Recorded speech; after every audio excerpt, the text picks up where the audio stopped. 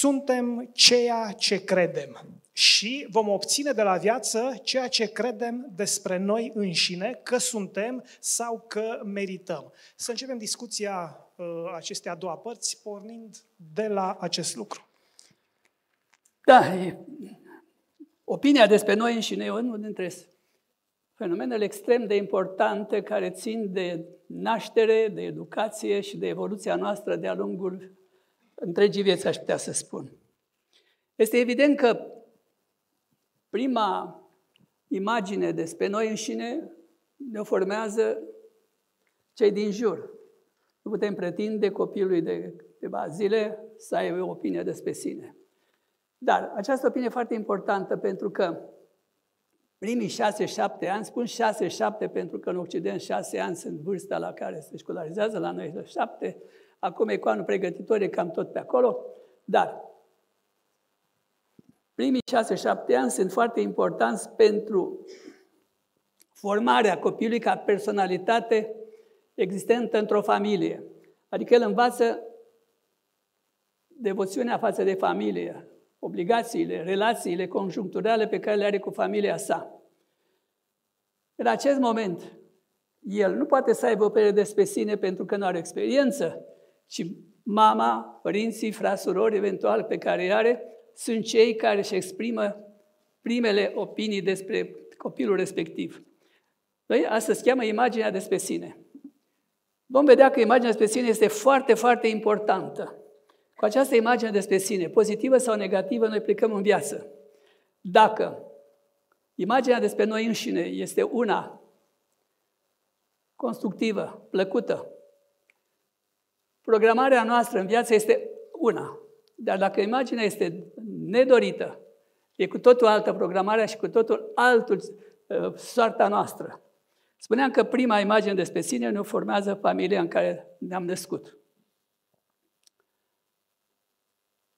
Școala, prima școală. Prima școală ne formează pe noi ca personalități adaptate societății. Deci dacă primii ani ne formează, suntem formați în spiritul familiei în care ne naștem, următorii ani suntem formați ca personalități adaptate unei societăți, unei lumi. Sau cel puțin copiii care sunt școlarizați în primii ani ar trebui asta să creăm, personalități utile vieții, existenței lor. Din nou, aici imaginea despre sine este formată din multe alte puncte de vedere. Să zicem că în primii ani. Noi știm asta acum. Dar ceea ce spun eu acum nu-l știam la vremea respectivă.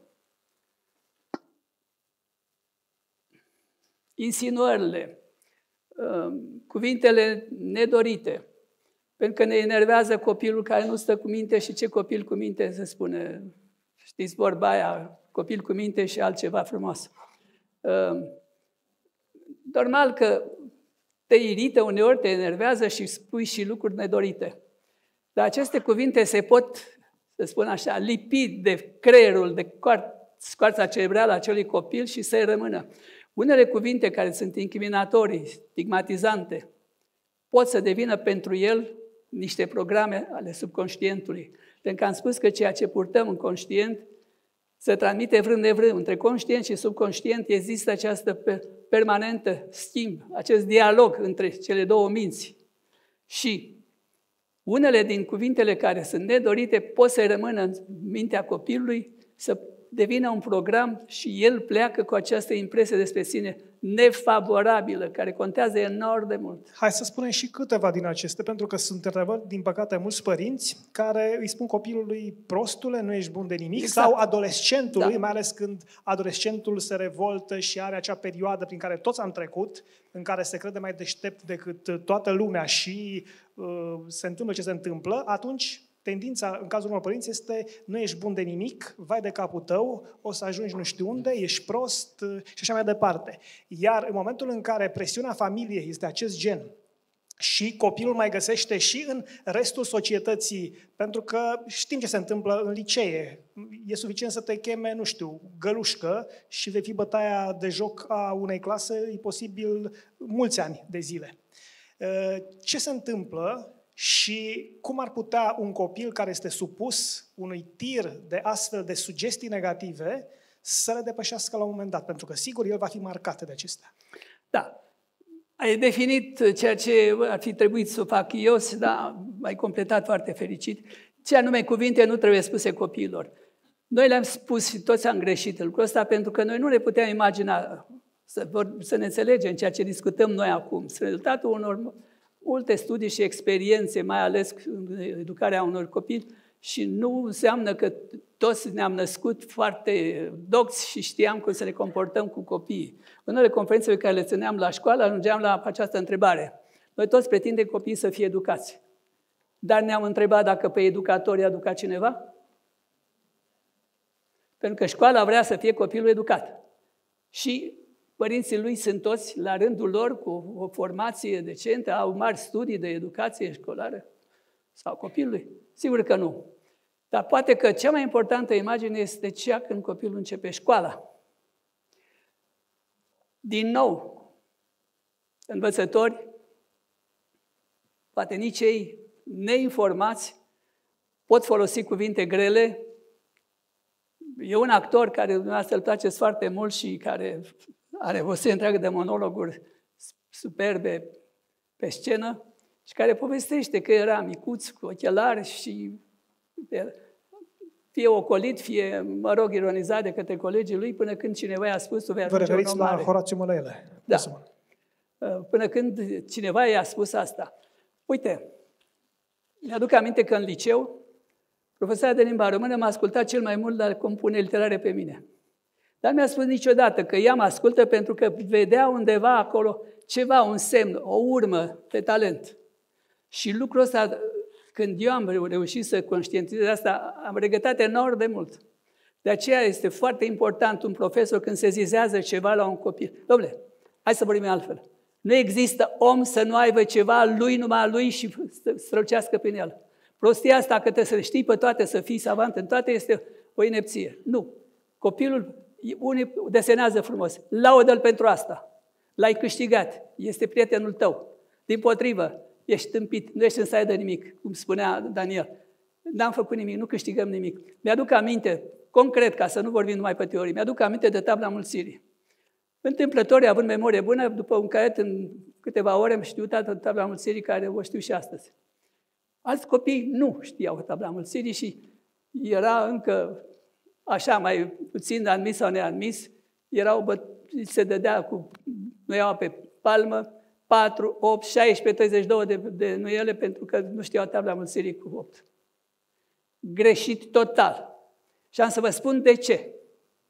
Acei copii care învățau greu tabla mulțirii, dar știam noi asta, știam eu, știam învățătorii, nu știam, nu aveam nivelul de educație necesar. Dar acum măcar cât știm, trebuie să-l discutăm.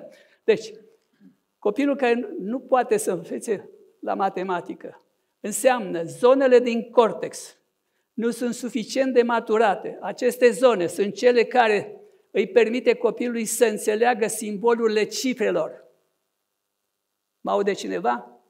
Cel care citește greu, cu altă zonă din creier nu poate descifra simbolul literelor, citește greoi. Sunt copii care după șapte clase încă silabisesc. Și noi credem, și toți credeam, eu însumi, pentru că întâmplarea făcea ca eu să am note, să pot să înțeleg toate lucrurile astea fără dificultate. Noi credeam că sunt leneși. Nu! Copiii aceia nu erau leneși. Copiii aceia nu, nu-i ajuta mintea. Pentru că vreau să continui această idee pentru că știu că este necesară. Avem trei tipuri de inteligență. Este inteligența intelectivă a omului care memorează ușor și învață ușor. Este inteligența socială a omului care se cațără pe treptele sociale. Și inteligența pragmatică a omului care știe să dezvolte lucruri practice. E bine, la nivelul ăla, dacă judeca acum, mintea mea era pe o inteligență intelectivă. Când eu încă hălădeam prin cărți, acești colegi ai mei care aveau inteligență pragmatică erau deja oameni cu mașini, cu case, căsătoriți, etc. Demonstrând că acel copil nu era cu nimic inferior mie care știam tabla mulțirii, ci din potrivă, harul era altul. Dar ar fi trebuit ca cineva să știe acel lucru și pe el să-l laude pentru asta. De asta spun și am scris negru pe alb. Nimeni nu e nici prost, nici deștept. nici frumos, nici urât. Este așa cum a hotărât în alte dimensiune să vină aici. Aș vrea mult să rețineți ceea ce spun în clipa de față.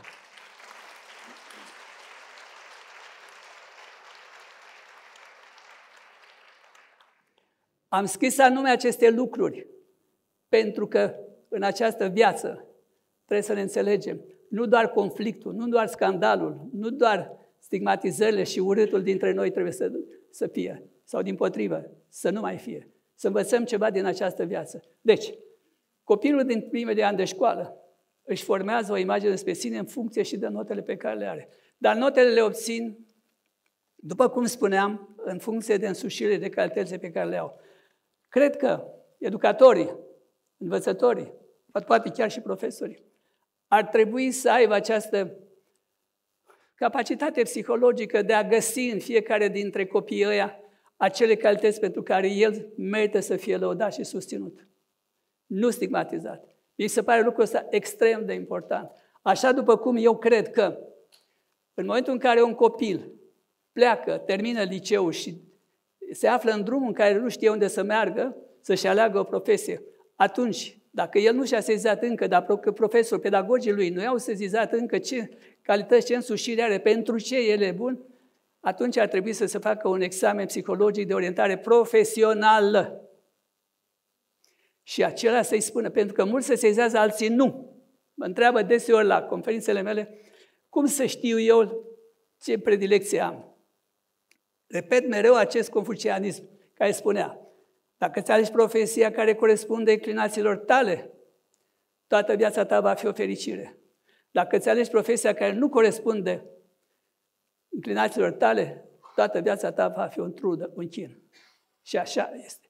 Deci, am spus și repet, și statul ar trebui să fie interesat, pentru că dacă acest individ care este orientat profesional înseamnă că va da un randament foarte bun, indiferent că el este într-un mediu privat, randamentul lui înseamnă o taxă mai bună la stat sau la stat. Oriunde ar fi, acest om trebuie să fie pregătit pentru viață, să dea maxim de randament și asta înseamnă ca el să aibă acel profil care corespunde structurului.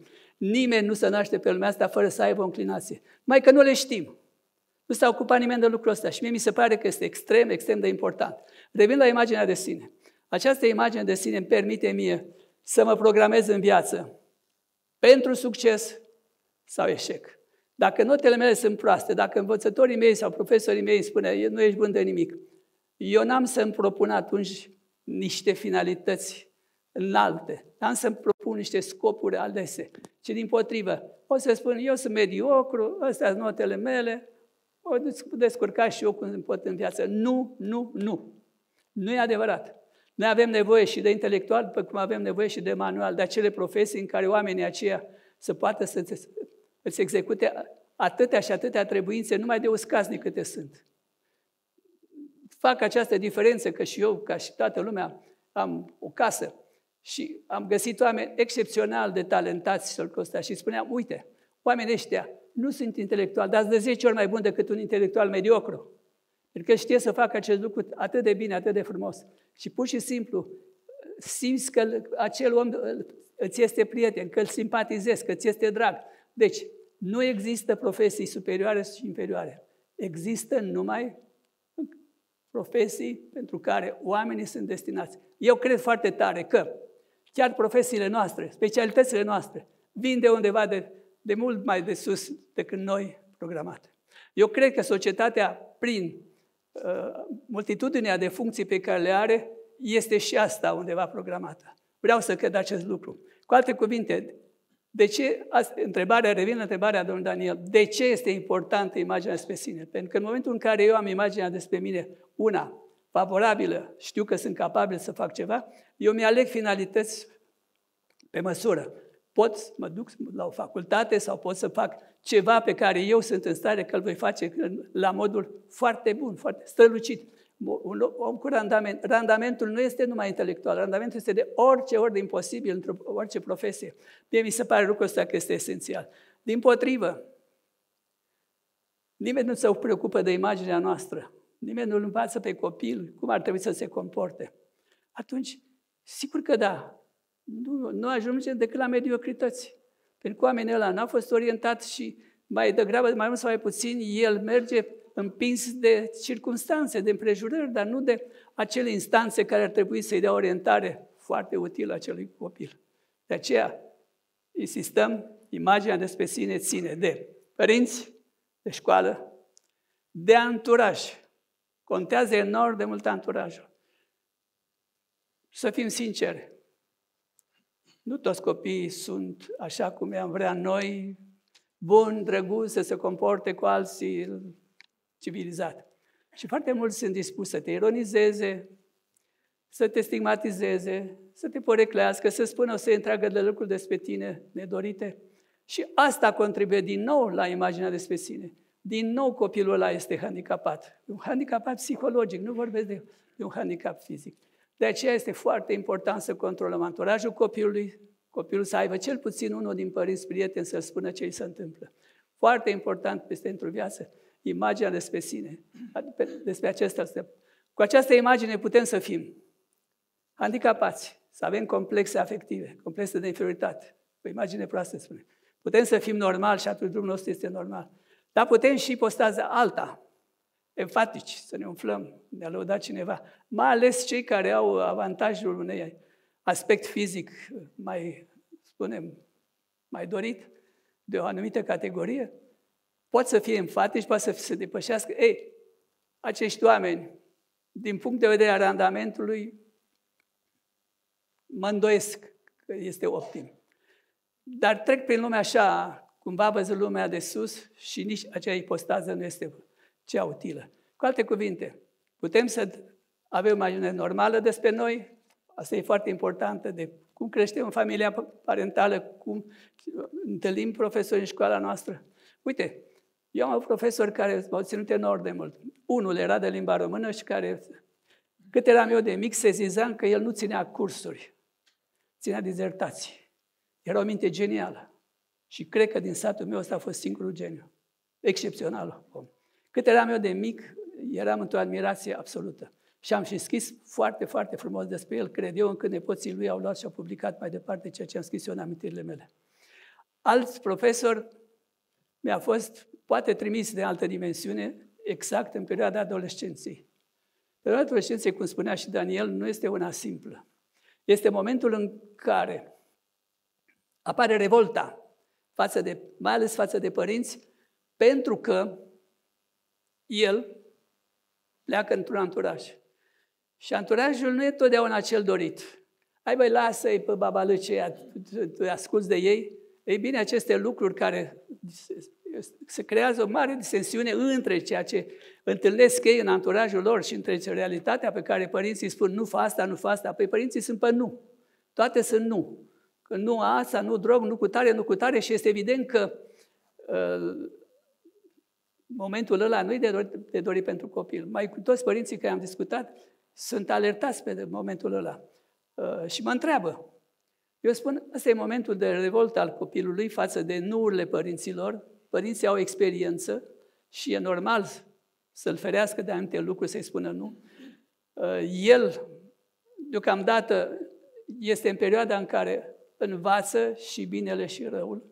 Dacă e un copil inteligent, mai târziu sau mai, mai sau mai târziu, el va înțelege exact care este norma de, și discuțiile pe care le are cu anturaj și cu familia și se întoarce la părinți. Dar poate această întoarcere să fie foarte târzie. Asta în mod sigur. Pentru că, da, riscul de a crește un copil până la vârsta uh, de maturitate, 20-25 de ani, am văzut că consideră chiar unii din Occident, uh, momentele astea sunt dificile pentru copii. Toți am avut adolescenți, toți. Mi-aduc aminte că singurul că i-am spus fiul meu când uh, prea mai stătea pe acasă, orice să faci, orice. Dacă vrei să trăiești, să apuci 30 de ani, nu te droga. Ia marele vedete. Cât a trăit? Ăsta, ăsta, ăsta. Uite, Houston și, și, și. Și atunci, ai să vezi dacă e cazul să imiți sau nu. Mulțumesc cerului că m-a ascultat. Uh, acesta este un alt risc al, al creșterii copiilor noștri. Aș veni cu o completare și chiar cu o provocare pentru dumneavoastră. Din câte știu eu, din lecturile pe care am făcut eu pe acest subiect, uh, a reieșit că în perioada adolescenței, creierul adolescentului nu are încă dezvoltate anumite lucruri care se uh, formează și se stabilizează abia la vârsta maturității. Prin urmare, adolescentul nu are organul cu care să interpreteze realitatea în mod corect. Și pe acest fond uh, biologic, să-i spunem, cu anturajul și cu conflictul între generații, pentru că asta se întâmplă, pot să apară astfel de... Acolo e zona în care uh, copilul, care poate a fost foarte bun până la 10 ani, 12 ani, ajunge la adolescență și poate să devieze pentru câțiva ani, mulți se, își revin. Și uh, la maturitate și ei se întreabă poate cum am putut să fac la 17 ani ce am făcut. Vă sigur că da, am spus că momentul de, de regret pentru unele erori pe care le face la vârsta adolescenței vin mai devreme sau mai târziu. Toți copiii ajung, toți, nu, toți copiii care trăiesc devin adulți, nu? Și, cum se spune, ajung la mintea de pe urmă. De ce nu ne dă Dumnezeu mintea de pe urmă? Adică aceea în care noi am înțeles ceea ce era bine și ce nu era bine. În primul rând, acești copii nu au experiență. Marele risc, și nu vreau să scap acest moment să vă spun că unul din riscurile adolescenței este ca copilul să fie dezamăgit într-o iubire. 16 ani, 17 ani e vârsta în care copiii simt nevoia, prin revoluția hormonală, simt nevoia unei prietenii.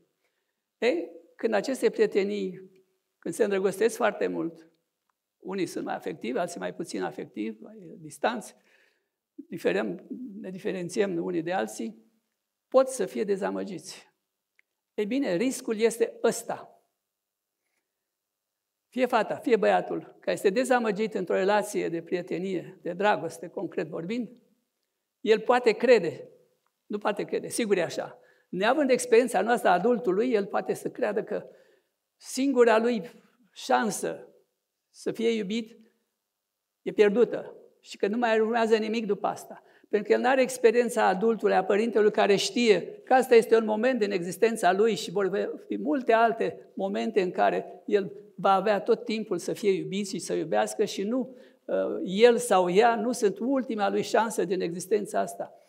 Multe, mulți copii ajung la rezoluția aia nefericită. Și știți care, ca să nu mai pronunț cuvântul. De aceea, sigur că da, mulți părinți mi s-au plâns. Și spun un singur lucru. Dintre cei doi părinți, unul să fie prieten cu copilul. Copilul să îndrăznească să-i spună confidențele lui. Pentru că dacă nu știi lucrul ăsta, există mari riscuri să pierzi copilul, el neavând această experiență. Bun, Daniel întreabă și de zonele corticale care nu sunt uh, încă suficient de maturate. Eu m-am ocupat foarte mult și am scris pe tema asta de electroencefalografie, care înseamnă înregistrarea activității creierului. Vedeam prin această înregistrare, numită electroencefalografie, zone sau spații corticale imature sau din potrivă mature. Și am sezizat că foarte mulți tineri nu corespund ca maturitate vârste pe care o au. Am sentimentul că există foarte multă imaturitate, că ceva i-a grăbit pe copiii ăștia. Traiul prea bun, gândiți-vă câtă foamete s-a îndurat de către generațiile care au fost pe timpul războiului și totuși și abundență de hrană a urmat după. Mă rog, condițiile poate să fie nu numai asta, mentalitatea, cultura, tot ce se întâmplă în universul ăsta, poate să aibă efecte asupra creierului lui, nu totdeauna favorabile și fericite. Asta o vedem cu toții, toți am fost copii, cred și așa, nu cred, ci sunt convins că, moment, că momentul pe care îl trăim noi este foarte dificil în educația copiilor noștri. Foarte dificil pentru că informațiile pe care le primesc prin media sunt cu totul altele pe care le-am avut noi când eram de vârsta lor. Eu mi-am foarte bine de ani adolescenței, întâmplător, eu țin minte de când eram în brațele mamei și știu exact că adolescența, nu numai acum, și la vremea noastră, există această revoluție hormonală. La unii este blândă, la alții nu. Deci impactul dintre hormonii care încep să apară din momentul în care glandele endocrine intră în funcțiune, contactul, impactul dintre hormon și receptorii din creier uneori se face liniștit, dar uneori foarte, foarte dur. Această duritate îi dă copilului neliniște, e iritabil, e greu de înțeles, nu te mai înțelegi cu el, dar el, săracul, nu este prost educat, ci pur și simplu acest conflict între receptor și hormon, la unul este destul de dur, de tulbure. Eu n-am avut decât dureri de cap, dar alții aveau mult mai multe alte comportamente, să spunem, discordante. Nu de genul psihotic, ci, sigur, limitele acceptabile. E un moment dificil pentru copii. De aceea părinții ar trebui să fie foarte aproape de copiilor, mai ales adolescenți. Lucrul ăsta este de notorietate, îl vedem toți. Până la urmă, eu pot, vreau să, să spun așa că este o șansă să-ți educi copilul foarte bine în condițiile în care circunstanțele sociale sunt atât de mult schimbate. Înainte de a merge mai departe, aș vrea să citesc un scurt fragment din cartea dumneavoastră, Inteligența Materiei, pentru că e plin de semnificații și este foarte bine legat de toată discuția noastră. Uh, iată ce spune domnul profesor Dumitru Constantin Dulcan undeva în cartea Inteligența Materiei. Fiecare dintre noi reprezintă un eu unic, irepetabil, o șansă din miliardele de a nu fi fost, pentru că au trebuit să concureze tot atâtea evenimente în infinitatea timpului și spațiului, pentru ca noi să fim aici și acum. Un singur obstacol, o singură abatere, o clipă mai devreme sau mai târziu, ar fi fost suficiente ca acela ce este acum să fi fost un altul sau să nu fi fost. Din milioanele de celule inițiale care au dat asaltul asupra celulei mamă, una singură a avut șansa de a câștiga. A fost aceea care ne purta pe noi. Pentru noi a fost clipa, a fost locul. Pentru noi s-a deschis cerul. Pentru noi a fost pământul. Suntem una din secvențele infinitului un punct situat undeva în spirala galaxiei noastre, expresie a unui vis cosmic. Noi suntem începutul și sfârșitul, pentru că în sensul realității imediate, lumea începe și se termină odată cu ființa noastră. Iată care este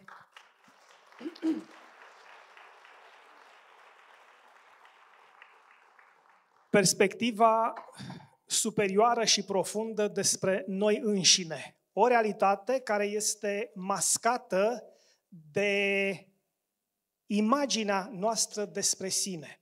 Dacă comparăm acest spațiu descris de domnul profesor, care este plin de posibilități, și așa cum spun uh, cercetătorii din epigenetică, și anume că ADN-ul nostru acela rezidual, care se spune că nu ne-ar folosi. În realitate este o multitudine, exprimă o multitudine de potențialuri. Noi putem avea acces la toate aceste, la acest mare potențial care se găsește în ființa noastră la nelimitarea și accesul către infinit. Dar ă, posibilitățile care se nasc din eul pe care, care ne este descris de domnul Dulcan așa cum am spus, este mascat și este blocat să se exprime de imaginea noastră despre sine. Cred că fiecare dintre noi a trecut prin viață prin momente în care a avut sentimentul că nu a realizat mare lucru, că nu înseamnă foarte mult, că nu este iubit, că nu este apreciat, că de fapt nu poate să facă acel lucru, că e greu, că e imposibil. Cine poate să facă? am creat în decursul timpului, datorită sugestiilor care ne-au venit de la societate, de la părinți, de la prieteni, de la colegii de servici, de la cei care, din motive pe care nu le înțelegem, ne urăsc și ne scriu mesaje negative pe internet. O barieră psihologică. O, am construit o barieră psihologică care ne spune că noi nu putem mai mult de atât. Și uh, dumneavoastră spuneați că s-au făcut experimente în care oameni fără nici o aptitudine pentru desen sau pictură, spune-ți să mai departe. Da, uite, hipnoza. Hipnoza poate să creeze la oameni care n-au niciun talent, de, să se spune, la desen, la pictură. Prin hipnoză el spune, ești Repin, sau știu, Van Gogh. Și poți să, să pictezi în stilul lui. Ehm, aici este o, o, o dimensiune extrem de miraculoasă, aș putea să spun, pentru creierul nostru. În această stare poți să dispui de niște însușiri pe care niciodată nu le-ai manifestat. De unde vin? Probabil că ne sunt sugerate. Există un mare mister în creierul nostru. De aia și spun că este cel mai complex organ al timpului. Mă întreabă lumea ce cred eu despre evoluția creierului. Sau ce va aduce evoluția în plus de acum încolo.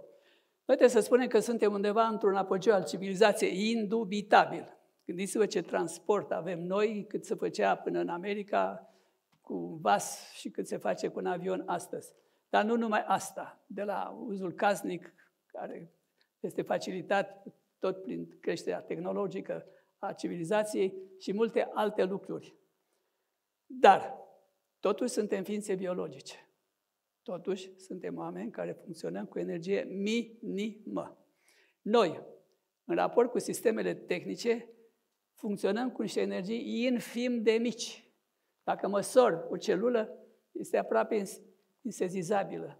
Pe câtă vreme, miile de tone de vați și tot ce vreți, într-o industrie tehnologică, sunt la nivel de superputere. Toate aceste lucruri, vrem, nu vrem, au un impact asupra biologiei. Deci, viața noastră, existența noastră, din punct de vedere biologic, se petrece la niște niveluri energetice extrem de mici. Noi suntem informație și energie la nivel de câmp cuantic și această informație și energie ne construiește prin condensare. Noi plecăm de la nimicul substanțial și doar la acest vacuum energetic, îl numesc unii, spre substanță. În fond, noi toți suntem niște condensări de lumină. Suntem ființe biologice. Am spus și repet. Cei care vor să ia destinele unui neam, trebuie obligatoriu, nu le pretind lor, dar măcar să aibă niște consilieri în virtutea cărora să țină seama că modelul social pe care vor să ne-l aducă în existența noastră se adresează unor oameni care au o psihologie, o biologie, au dorințe, au neputințe și el Trebuie să țină seama că sistemul social nu e făcut pentru gâze, pentru insecte și pentru șobolani. E făcut doar pentru oameni. Și acest lucru este extrem de important. Noi suferim enorm în relația socială. Unii față de alții nu avem această educație, această lecție. Noi credem că de aici mă cunosc cu câteva persoane și că relația mea este asta, se duce la persoane care le cunosc și ne comportăm frumos unii cu alții. E o mare greșeală. Noi suntem un univers interconectat. Spun unii dintre specialiștii fizicii cuantice. Cea mai îndepărtată galaxie își trimite până în grădina noastră mesagerii săi. Noi toți suntem într-un univers, repet, interconectat printr-o energie în care unul este modelul tuturor și toți reproduce unul. Noi, în totalitatea noastră, suntem unitate. Dacă am înțelege acest lucru, îmi vă dau exemplu unei doamne care a avut o mare clinică. Acolo toți care au revenit vin cu alt spirit, pur și simplu spiritualizați, cu altă înțelegere, o înțelegere mult mai profundă decât cea banală a noastră, sau să nu numim banală, atât cum e a noastră, să nu numim cum e ea. Și spune, aveam sentimentul când merg pe stradă să îmbrățișez și bărbații și femei să spun, tu ești sora mea, tu ești fratele meu. Dându-mi seama însă de ridicol și de neînțelegerea lor, Pur și simplu n-am făcut-o. Ei, în altă dimensiune, în dimensiunea aia din care vine mintea umană, noi toți suntem frați. Noi toți suntem surori. Știți de ce a câștigat regia creștină? Am spus-o și repede elor. Până la momentul creștinismului, sclavul era considerat animalul vita stăpânului. El putea să facă ce vrea cu sclavul lui, să-l vândă, să-l ucide, să-l violeze, nu avea nicio judecată cu nimeni. Iisus vine și spune, voi toți sunteți fi ai același tată. El ridică sclavul la demnitatea de om. Această demnitate de om a desemnat și a exprimat în profunzimea lui creștinismul. Pentru acest motiv, noi am învățat să ne respectăm unii pe alții. Nu încă suficient, atât cât ar trebui să nu mai avem conflicte între noi. Dacă depășim nivelul ăsta conflictual care există la ora actuală în lume, dacă găsim înțelepciunea să depășim acest moment, eu cred că noi vom avea mari șanse, cel puțin nu prin 27-28 încolo, mari șanse de evoluție spirituală. Și asta se crede că va merge până la modificările ADN-ului, lanțurilor de ADN care s-ar putea să fie mai multe decât avem în clipa de față. Unii spun că s-au și născut unii copii într-o anumită țară asiatică și că echipe de, venite de peste ocean le-ar fi asistat la performanțele pe care acest copii cu alt ADN decât al nostru s-ar putea, să părea că au comportamente și posibilități care le putem considera ținând de miracol. Cred că viitorul nostru va fi doar, nu să crească șapte degete, ci pur și simplu sau zece mâini, ci doar în creșterea capacității creierului nostru de a recepta și de a interpreta informațiile pe care uh, civilizația, vrând nevrând, o crește în progresie geometrică și pentru creierul nostru este o mare sarcină. Este posibil și eu cred că vom găsi această înțelepciune să depășim momentul actual și vă doresc tuturor, ca și mie, pace și sănătate. Uh, ajungem la concluziile finale și la soluțiile pe care le propuneți celor care ne au venit aici la conferință pentru a-și modifica viața în bine. Până acum se desprinde o concluzie foarte importantă și anume că autoprogramarea pe succes este indisolubil legată de uh, crearea unei noi imagini de sine. Nu se poate una, una fără alta. Dacă noi rămânem cu o imagine de sine defectuoasă, negativă, nu putem face uh, programarea subconștientului nu ne în propunem direcția... finalități mari. Da. Uh, Sintetizând, pentru că vorbim puțin despre uh, rolul sugestiilor în depășirea acestor bariere pe care le-am adunat în decursul vieții. Cum accesăm mintea subconștientă? Care este rolul sugestiilor? Spuneați că uh, sunt două momente importante care sunt uh, porți de acces. Porți de acces în subconștient. Este subconștient, care am spus că este mașina, angrenajul care traduce în realitate dorințele noastre, opțiunile noastre și perfecționarea noastră. Deci avem seara înainte de culcare și, da, dimineața, și la dimineața la trezire. Sunt momentele adică optime. Deci noi avem patru ritmuri cerebrale, dar două sunt accesibile nouă. Este ritmul teta, asta înseamnă 4 la 7 cicli pe secundă și ritmul alfa 8 la 12 cicli pe secundă. Ritmul de activitate beta este cu totul altceva. Acestea se cheamă porți de acces la subconștient. Și spuneam de ce avem nevoie de acces la subconștient, încă o dată, repet, ca să revenim la o sinteză a lucrurilor. Am vorbit că, în clipa de față, putem să admitem că există două minți. O minte conștientă sau conștiința noastră și o minte subconștientă sau subconștientă. Mintea subconștientă este angrenatul, angrenatul este structura complexă care nu are repaus ci lucrează la timpul prezent întreaga noastră viață, prin ea, care este echivalentul inteligenței și forței Universului, noi putem să ne împlinim toate dorințele și opțiunile noastre. Ne putem construi o viață, pentru că ea, fiind, dispunând de o inteligență infinită, are forța, are capacitatea de a materializa gândurile, dorințele noastre și acest lucru este extrem de important. Important e ca să programăm numai lucruri pozitive, finalitate normală, constructivă, pentru că altfel, am spus, subconștientul nu are discernământ și atunci toate gândurile aiurite din mintea noastră le poate prelua și devenim programe care ne vor deranja și starea de sănătate, dar și social și sub orice alte aspect. Sintetizând, vorbim despre acest lucru, cele două momente în care noi ne putem programa, dar nu sunt absolut așa. Nu înseamnă că dacă noi, una dintre legile subconștientului este repetiția. Această repetiție înseamnă, de-a lungul zilei, 3 la 5 minute, repeți acea afirmație. spunem afirmația să excludă nu, să excludă viitorul, să aibă un sens constructiv și etic pentru ființa umană și să nu cerce stele de pe cer, că nu ți le va da nimeni. Poți să le admiri, dar nu poți să le iei. Deci, ă, această programare ține de anumite reguli. Fie cele două porți de pe care am amintit Daniel, dar și de-a lungul zilei, din când în când se aduce aminte despre lucrurile astea. Uite, voi avea o, o confruntare deschisă cu Neil Olsch, cel care a scris Conversații cu Dumnezeu, între cele două zone ale lumii, în 29 ianuarie, ă, la sala Palatului. Vom vorbi ă, dialog dintre inteligența materiei și conversații cu Dumnezeu al lui Neil Olsch, prin interpreți, el fiind în Oreno, în Statele Unite ale Americii, nu mai pleacă, nu se mai deplasează, a fost operat pe inimă, și vom comenta din nou aceste lucruri care țin de evidența unei dimensiuni spirituale. Vă dau un singur exemplu. A apărut și la noi, Dumnezeu vorbește și spune următorul lucru. Voi toți ați spus toate relele pe seama mea, războaie, închiziție, tot ce vreți. Țineți minte ce vă spun acum. Eu nu sunt decât iubire pură. O iubire pură.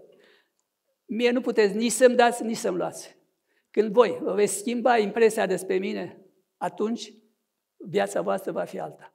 Aceste două cărți le voi publica în curând. Sunt traduceri după doi autori din Franța, sunt traduceri de ordin pur matematic. Nu are niciun singur cuvânt despre religie, decât denumirea.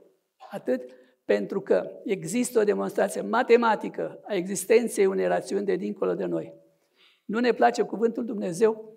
Foarte bine, zi altfel, zi cum vrei. Dar că există o rațiune de univers, care îi datorăm existența tuturor lucrurilor, nu avem cum să o ignorăm. Dacă mie cineva îmi poate explica de ce există universul și cum de există universul sau ce ar fi dacă nu era, atunci o să-l cred. Dar până atunci să lăsăm pe alții care sunt mai doxi decât noi să ne explice aceste lucruri. Deci, dispunem încă o dată de posibilitatea de a evolua spiritual, de a evolua și în sens material, fără îndoială. Îți dorești o casă, o mașină. Ai posibilitatea să o vizualizezi, să repeți acest lucru în termenii pe care am discutat până acum. Nimic mai mult. Sigur că da. Este foarte important tu să gândești normal. Este foarte important să judeci. Să ai o minte limpede. și se recomandă de către toți oamenii să fii bun să fii generos, să fii empatic, să ai o compatie față de semeni, să nu folosești limbajul, să spunem, negativ, destructiv de orice alt ordine. În clipa de față există, Seligman a scris o carte despre emoții pozitive și gândirea pozitivă. Uh, am văzut că unii psihologi au o retracție, o reticență când au despre pozitivă. Da, m-au criticat că am vorbit despre energie pozitivă. Evident, ei spunând că energia e una singură și că, da, eu sunt de acord că energia e una singură, poate să fie uh, folosită și în sens pozitiv și în sens negativ. Nu asta este discuția. Dar discu- discuția lumii este asta. Avem nevoie de o gândire pozitivă, o gândire care să se rezulte la generozitate, iertare, empatie, empatie, bucurie. Avem nevoie de bucurie zilnică, Viața noastră nu e una fericită. Noi suntem pe pământ aici, mai mult sau mai puțin, pentru a ne instrui o educație. Eu cred că noi acumulăm aici informație pentru că în alte dimensiuni să devenim surse de noi creații de univers. Asta e ipoteza mea, nu o impun nimănui. Dar avem nevoie de o gândire pozitivă pentru că gândirea negativă are ca chimie stresul.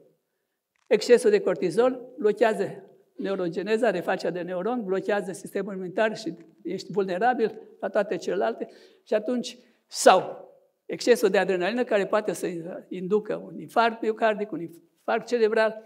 Cu alte cuvinte, dacă evităm gândirea negativă care are ca substrat biochimic doar patologia sau rezultate nefaste, atunci avem mari șanse ca noi să evoluăm în lumea asta. Și am spus că dacă acum, momentul ăsta, care e foarte dificil pentru noi, găsim înțelepciunea să traversăm momentul ăsta, Eu cred foarte mult în evoluția noastră spirituală. Sperăm ca lucrul ăsta să se întâmple. Aș mai sublinia un lucru care mi se pare foarte important și anume că uh, imaginea noastră de sine și situația în care suntem uh, a creat în decursul timpului programe neuronale. Fiecare defect, fiecare tendință pe care o avem are în spate un program neuronal, o rețea neuronală care s-a construit în timp pentru a susține acel lucru. Ca să ajungem să ne împlinim obiectivele superioare în viață, să atingem succesul, să avem o viață fericită, presupune să creăm noi rețele neuronale, care așa cum am spus... De suport creează... al altor, la ideilor pozitive. Da. Orice informație nouă necesită o rețea neuronală nouă. Um, ce spune Daniel îmi sugerează o experiență foarte utilă nouă tuturor. S-a luat două cuși de șoricei care să facă experiențe. Una a fost lăsată așa cum era ea, obișnuită, și pe una i-a pus tot soiul de mici device-uri care să-i distreze, să dărea huța-huța, să facă baie, etc. După patru luni de zile s-a măsurat creierii. Nu mai avem nevoie să omorâm bietul animal să vedem câți neuroni are în creier, ci pur și simplu avem la dispoziție aparate cu care noi putem să vedem ce se întâmplă în creierul lui. După patru luni de zile, la șoricei care li s-au creat această variație, adică au, i-a scos din monotonie, aveau de patru ori mai mult neuron decât ceilalți. Cu alte cuvinte, creierul nostru este cel mai mobil organ. El este în permanență modificabil la informația pe care o dai. Fiecare informație nouă, fiecare gând, gând nou, sentiment nou, emoție nouă, înseamnă un suport neuronal și biochimic. Aici s-a vorbit despre rețele neuronale. Aceste rețele neuronale, cei care le-ați citit și sunt convins că le-ați citit mulți pe dispență, el spune că noi ne putem modela creierul în funcție de ceea ce gândim, ne putem transforma pur și simplu gândirea cu o condiție, să nu ne mai întoarcem la trecut. El zice, orice amintire din trecut evocă și rețeaua, rețeaua neuronală de suport a trecutului, amintire din trecut. Și ca atare, iar ne întoarcem de unde am plecat. Dacă vrem să ne schimbăm complet creierul, trebuie să gândim numai spre viitor. Dar întrebarea mea este, putem să trăim fără amintiri? Eu nu cred. Se și spune că cel care nu are prea multe amintiri la tinerețe, prea multe evenimente fericite în tinerețe, are o viață destul de grea, pentru că nu are ce să-și amintească plăcut. Așa încât eu nu sunt de adeptul să renunțăm complet la amintiri, că sigur, în viața fiecare sunt și amintiri frumoase. E unul din motivele pentru care mă întreabă lumea, ce să fac eu dacă sunt depresiv, sunt trist și nu mă împac cu lumea? Sau sunt supărat? E un lucru, psihologii știu foarte bine.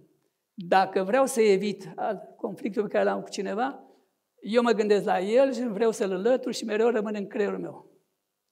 Singura soluție este să aduc pe neuronii ăia, care sunt suportul conflictului pe care l-am avut cu cineva sau singur, să aduc o informație nouă, dar benefică. Și am spus, evocarea gândului aduce și energia acelui eveniment.